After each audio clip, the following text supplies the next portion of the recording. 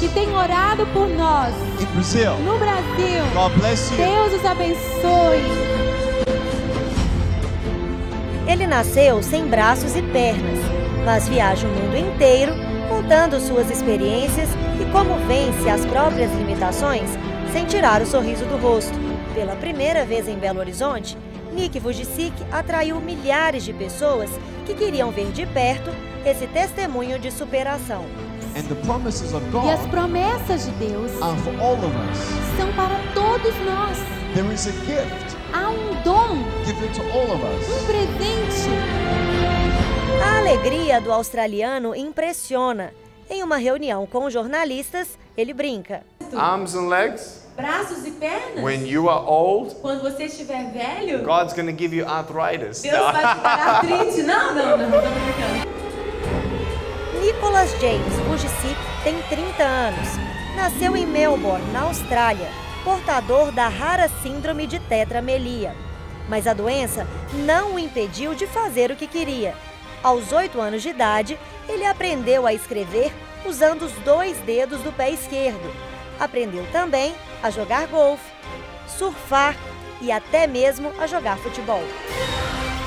When I was a, um, um, a teenager, I wanted to prove eu queria provar that I could be que eu independent. podia ser independente. So I learned how Então eu to aprendi brush my teeth, a escovar meus dentes, comb my hair, a escovar meu cabelo, shower myself, a tomar banho sozinho, take myself to the toilet. a ir para o banheiro. I could do everything. Eu posso fazer todas essas coisas. But I can still look after myself. E eu ainda assim posso fazer tudo sozinho. Three quarters of the things. Três quartos das coisas que todo mundo faz, eu So consigo. it's cool Então tá tudo bem. uh, to understand É preciso entender that yes, I can be que independent, sim, eu posso ser independente. but it's also okay mas to ask for help. também é, é uma coisa boa entender que você Yeah. pode pedir ajuda. So then, with that help, Com essa ajuda, I can do what I really want to do. então eu posso fazer o que eu realmente quero fazer. Ele não chegou a ter uma infância depressiva, mas aos 10 anos tentou tirar a própria vida numa banheira.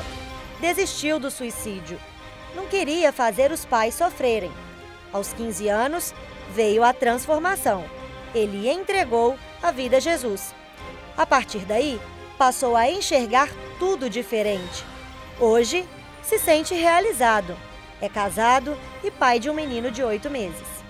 And so I want everyone to know Então eu quero que todos saibam that a lot of the things in our life que muitas coisas na nossa vida are limited because of our são choices. limitadas por causa das nossas escolhas. And simply, my story E a is minha história simplesmente that when I chose to believe in Jesus, mostra que quando eu escolhi In the forgiveness Jesus e no seu perdão of my sins, dos meus pecados, His resurrection, a sua ressurreição, eternal life in heaven, a vida eterna no céu. now I could believe Agora então eu posso crer that God has a plan, que Deus tem um plano. An eternal plan, e um plano eterno. that now makes this life more que purposeful. faz com que a minha vida, esta vida, tenha propósito. Truth A is, verdade é, God has a plan. Deus tem um plano. You can't see it, Você pode não enxergar isso, but to seek it, mas se buscar, you have to first have faith to believe it's even there before you try find it. você primeiro tem que ter fé até para começar a buscar a razão. So I have two feet. Então eu tenho dois pés sim. Here's my little foot. Aqui tá meu Can you pezinho, lift ó, up my little? pé. Uh, can you lift up my shorts a little Yes, bit? aqui tem um outro pé, ó. Yeah, it's Viram? always there, right? Sempre esteve ali, sim? So Então, God's plan is always there. o plano de Deus também sempre está ali.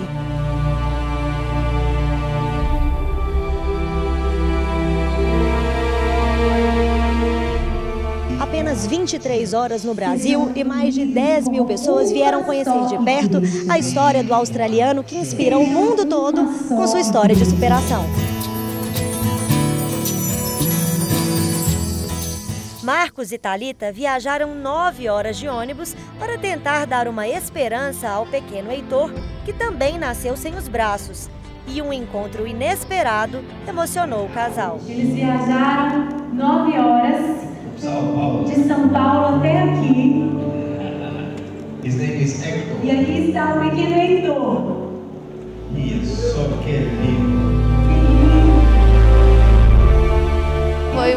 prova de amor. Vim de Sorocaba, nove horas de viagem, pra gente nem saber se ia conseguir ou não encontrar ele.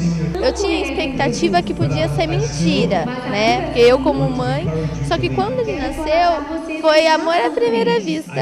Eu vi e amei ele do mesmo jeito. Hoje em dia, se eu pego uma criança que se dizemos assim normal, eu não consigo. Eu cato, eu fico toda assim, ai, vai derrubar, vai isso. E o Heitor para mim é tudo. Com certeza vai ser uma coisa muito importante ele saber que ele já conheceu alguém que passou e vai por tudo que ele vai passar ainda nessa vida.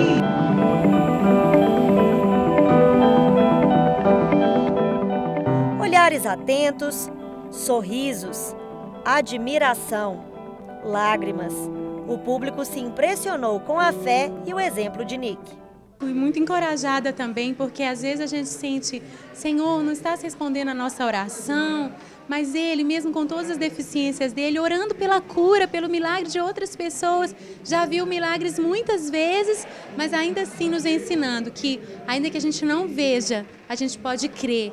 E se de tudo nós não enxergarmos, não alcançarmos um milagre agora, nós podemos ainda assim crer no propósito de Deus, que é maior do que tudo. Acho que eu não consigo colocar em palavras tudo que eu e todos nós podemos aprender com o Nick hoje. Eu saio daqui com a alma lavada, porque a gente vê que para Deus, Deus não, não, tem, não há limites. Inspirada realmente e agradecida ao Senhor por tudo que Ele tem feito pela minha vida. O corpo não nos limita, o poder de Deus é maior do que qualquer limitação. Maravilhoso, excepcional. E as reações do público também emocionaram Nick. Amazing. It was beautiful. I felt the Holy Spirit and I feel that there is so, so many people who sincerely love the Lord. And so we pray for this nation and we believe that many great things will still come. Nick Vujicic está em turnê pela América do Sul e de Belo Horizonte seguiu para o Uruguai. Ele prometeu voltar trazendo a esposa e o filho, um retorno já aguardado. Afinal, em tão pouco tempo, milhares de pessoas puderam redescobrir a fé e o verdadeiro sentido da vida. When you don't get a miracle, se você não receber o seu milagre, you can still be a miracle você for someone assim else. pode ser um milagre na vida de alguém. So why am I happy? Então por que eu sou feliz? I don't need arms and legs. Eu não preciso de braços e pernas. I need God. Eu preciso de Deus. I need purpose. Eu preciso de propósito. I want to go home. Eu quero ir para